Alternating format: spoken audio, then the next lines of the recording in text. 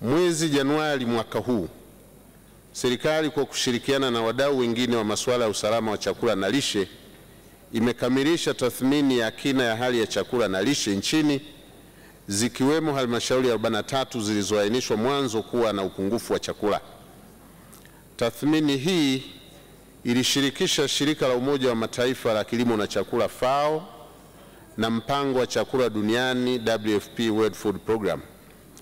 Aidha, wataalamu kutoka chuo kikuu cha kilimo cha Sokoine SUA na chuo kikuu cha Dodoma UDOM na wizara ya afya kupitia taasisi yake ya chakula na lishe TFNC walishiriki.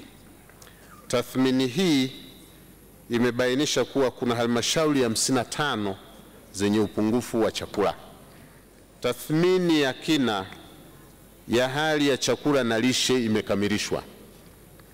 Matokeo ya tathmini hii yamebainisha kuwa hali ya upatikanaji wa chakula bado ni ya kuridhisha, pamoja na kuwa maeneo yenye upungufu wa chakula hapa nchini yapo.